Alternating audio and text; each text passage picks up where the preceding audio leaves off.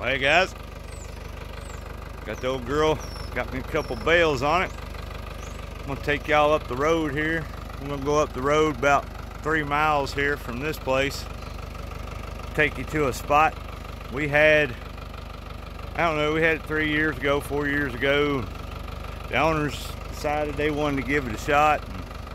They're a younger couple that owns the place up here. And, uh, just being young, you know what I mean? And they uh, they found out farming is not for everybody.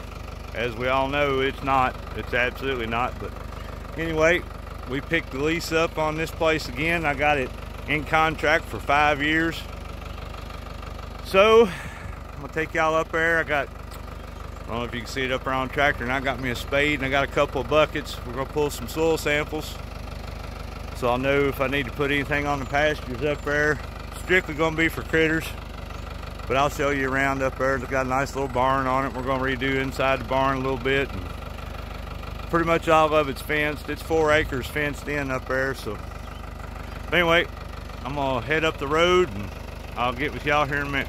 A little bonus footage. All the trees are starting to get some leaves on them. Things getting pretty green. See what the river looks like down here. I think I've told y'all before, but there's two rivers comes into one right down here.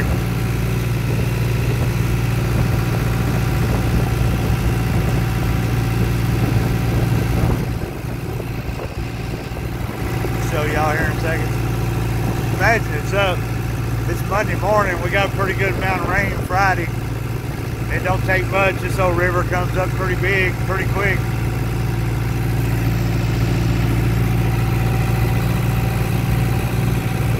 That's not a bad kind of chocolate milk.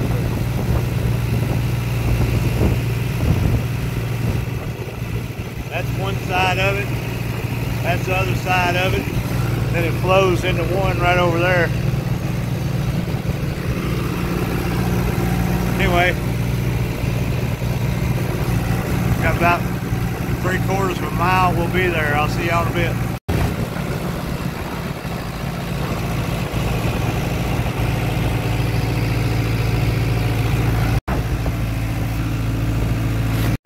Well, we made it. Show y'all a little bit what's going on. So he's got a few goats. They got a few goats left. I had him sell quite a few. That just wasn't worth crap. What he did have, money was good. So I said, man, go on and sell them while you can make a little money. And this little pond here. So before they bought the place, the owner said it held water good. It had fish in it muskrats had got into it. Well, they had tunneled so much in it that it just won't hold water anymore. So where he's got that line of T-posts going down there across the dam on that backside, I'm gonna come across this front right here, about from that tree, and I'm gonna put a fence all the way around it. And what I'm gonna do is I'm gonna go the old way. They uh they had checked with several equipment operators and whatnot. Folks that supposedly fixed ponds and they wanted to drill it and test and do it whoop. And it was to cost him a that blame fortune. So I was like, man, be all right. So I wrote in the contract, we're to put three calves in here in this pasture. And I'm to put probably three or four hogs inside a pen inside that pond. And what happens is, is my granddaddy raised hogs about all my life. We killed our own hogs, as y'all know, whatnot. But them getting in there stomping around in that thing and rooting and, and doing all they do, they will fix that pond where it'll hold water. So I got this place, I wrote it in the contract that I get it for, I've got it at least for five years now. I had it and like I said, they wanted to try do their own thing, which is fine. I want folks to. But, you know, sometimes folks are a little hard-headed or whatnot, and it's hard to listen. And that's okay. I mean, they didn't actually fail. They just didn't, you know I mean? As you can see, they still got a little herd of goats, you know what I mean? But I'm going to take them over. I'm gonna take care of them my way. And if you know if they don't cut the mustard, they'll go, and we'll put something else. We'll get them something else. But uh, we're gonna go up here on top. I'm gonna start on top, pull in a couple spots up there, and then I'll come down here and get a spot or two in this lower spot, and then a spot there on that hillside right there. And that'll kind of give me an idea of what this pasture is gonna need. We sowed this when I when I had it the last time. I mean, you can see the clover is coming up in it, unbelievable. But I brought the seeder up here, and I put you can kind of tell it, the orchard grass is coming in on it and whatnot, but I put red and white clover in it. Uh, it's got a little Timothy. Orchard grass is pretty thick in it. Uh, uh, it does have a little bit. Uh, goat can't have a whole lot, but it does have a little bit of alfalfa in it. I mean, very little, but it does. But it's primarily clovers. And man, you can just tell. Daggone clover it's thick. We'll light that up. I'll throw that in a pile and get them corral panels out of there and I'll put that in a little pile and we'll burn that mess. But I think this place is just a, it's not quite six acres, counting what the house is sitting on. So I figure the lot there where the house and the little their little awning deal there their little covered carport I guess we kind of got it figured that it's probably four acres or so fenced so yeah pretty tickled like I said we're gonna put some calves in here to kill this fall have some hogs in here to kill this fall. And that's really why I wanted it. I don't know. I mean, it'd be a chance that I bring some goats up here maybe. Probably will end up having to. So I can reseed and fertilize one of mine there at the house. So while that's getting a break, I don't know, like I said, but look i'll pull these i'm gonna dig these samples and uh, when i head back up that way we'll go in the barn i'll show you inside the barn and then i'll show you the lot out front too but uh, i'll see y'all here in a bit I guess got to pondering that too. I thought, well, I guess I'll show you what I do on soil samples. So I just run those spade in the ground about four inches or so, pop it up. And then what I like to do you know, all this up in here where you see these roots, that's where most of your nutrients going to be. So I come down here at the very bottom, I get a little handful of it, put it in the bucket, right? And just kind of put that back in. So I'll do that in a spot or two in the middle, spot or two on that upper side. I'll mix that up real good. Here, they want us to, they want us to usually three cups, literally like measuring cups. That's what they want you to send in. So I'll mix this up when I get home real good. And I'll put three cups of it in a bag. And then we'll take it off and get soil samples. But it kind of gives you, I'm right here to the back part of it. So you can see, you know, this this pasture here it, it's easily three acres here, maybe a little more. then out the front, you know, pretty much their whole front yard's got a fence around it. So, like I said, it's at least four acres. But like I said, I needed it. Basically, like I said, I wanted to kill my own beef and one of my own hogs. So this is hard fenced all the way around and I can run them in here and don't have to worry about it. So and it's just right down the road. Shoot, like I said, it's three and a half miles tops from my house, so it's perfect. But anyway, I'm gonna go down there in that middle, get me a stab or two, and then get me a stab or two on that top side. Then we'll go to the barn. See y'all in a bit. Figured I'd show y'all. Thought maybe out there, they might be a little deceiving, but shoot, you look right here where the top of the bank is, You draw a straight line over that joker.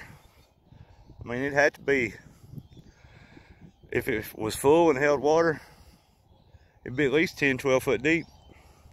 Shoot, maybe even deeper than that, but like I said, from about where that tree is, I'll come around this bank right here, kind of kindly follow around like you see, and uh, I'm gonna hard fence it, put some electric wire on the inside of it, probably some over here where that oak is, a little red oak, put some kind of little shelter right there for them to get in out of. I'll put me some pigs in that joker and we'll have that pond fixed in a year or so. It takes them a little bit, but they get it fixed. They'll definitely do it. I say daggone muskrats, boy. They just rent it. Them pigs get in there stomping around, rolling around, wallering. They'll fix it for sure. Well, got all my samples for this back pasture. Gonna take it out, get my other bucket, we'll go in the front and uh, I'll show you the barn and how it's all set up. But, uh, I'll see y'all in a minute. Well, I'm in the barn. Show you what we got going. Planning on probably gonna take this stall here out. It's always been a nuisance and right in the deck gum way. I never did like it, but this one's probably gonna stay. This one's gonna stay. That's goat shoot. There's a pile of eggs over in the corner you might not know about. Then you come out here. And this, when you come out that door, that takes you in that front pasture, which I'll show you in a minute. And then there's kidding stall rows down through here. We put does in them when they're having their kids. Leave them in here day or two, you know I mean, up to a week depending. But yeah, that's what this is. There's lights in here. We wired lights in it. Everything in here's got lights. Just I ain't got them turned on. Wasn't no sense in it, but yeah, little barn. I gotta do some cleaning on it, get it cleaned out real good, but I'm gonna rent me one of them little, one of them little daggone, uh, I can't think what to call them. But it's on tracks, got a little bucket, you know what I mean? Little B thing, you stand on the back of it, try and clean this out. Get it good to go. Look up there. There's a chicken nesting up there. I bet she's got babies in it. Or probably sitting on eggs. We'll have babies. But yeah. So this is the barn. Like I say this this uh that stall wall right there, it's probably gonna come out. I say, it's been a, it was a thorn in my side before. I just never liked the way it was. I'm gonna move the, you got a set of scales already on it. You know what I mean, digital scales. But I'll probably end up bringing that chute, setting it over here. That way when we bring them in from the back back there, if we bring them in from the front, leave this wall up right here, and it's got that little gate, bring it over here, and if this was, you know what I mean, if this was gone, you have a gate here, and you corral them through that, and then they can come right down through here, and then you shoot them out over here on the other side, shoot them out in the front, whatever. It's just gonna work out better. So I, I want to get rid of it, and I'm going to. I wrote it in the contract that I was going to, because like I said, it has aggravated the fire from under me. There's another old hen sitting up there. Dang, he's got more chickens running loose up there than I thought he did. Anyway, I'm gonna go back out this front door here and we got here in the front and I'll show you the front of it when I get my samples out there. So I had this little, forgot to show you all this too. Had this little, uh, I think he used it originally, this little off side of the barn here for, uh, I think he was putting nannies and little ones in it or something. But what I plan on doing with it, being it's hard fence too, I'm gonna put me a gate from the corner of the barn right there to that post where you can see them gate post or gate hinges was. I'll put me a gate on it. And then I got me one, we got two right there where you can come through. This is where I'm gonna finish them calves off this pen. I'll put me a round bale feeder in here. Put me a place up here under this eave. Probably use one of them feeders right there. set up here. Put me a water tank in here. I'll grain finish them beefs. Get ready to kill them.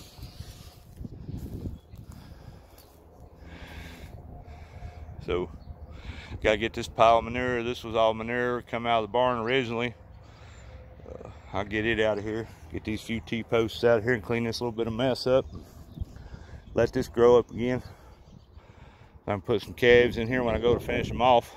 But I'm gonna come out here and I'm gonna pull me samples in two or three spots out there and I'll, I'll wrap this one up here in a little bit. Well, I'll get out in there and show you what it looks like out there here in a minute. So we're up here in this upper end of this. You can kind of tell, look down through where that fence is and then over there to the barn, about another 40 yards here behind me. So this is acre, acre and a half as it sits. You can't really tell from right here where I'm standing. These little Bradford pears, but kind of right in there you can. Orchard grass, boy, it's my favorite stuff really. It's coming in thick. Not a whole lot of clover showing. Really. A little bit in it. It's not like it is in that back pasture though. I mean, there's patches, but which is good. It'll come back.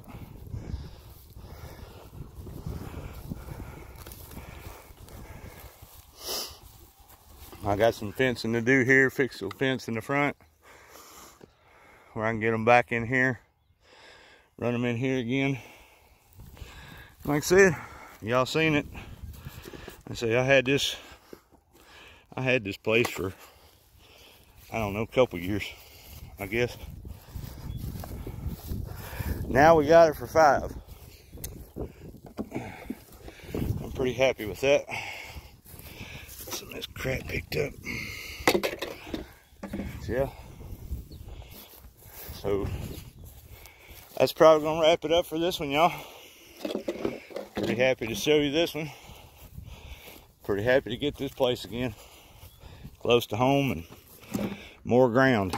Man, I always need more ground. I don't never have enough. You know, that sounds ridiculous, but it's the truth. I really don't have enough yet. If interest rates and stuff would ever come down, I'd buy another place, but whew. So, another parcel day in the life. Just wanted y'all to see this when you'll get to see it a lot more say this place here strictly for critters. Won't be no haying going on or nothing here, but fence fixing and critter running. That's all you'll see here. Anyway, enough of me jabbering. I got other crap to get done yet, so. I want to thank y'all if you've made it this far. Appreciate you watching. And uh, when I come up here to start on this one, get this fence ready, whatnot, I'll bring you along for that one. Because that's coming pretty quick. Anyway, fertilizing, liming, getting ready for hay. That's all coming pretty fast. So, thank y'all for watching. I'll see you next time. Bye.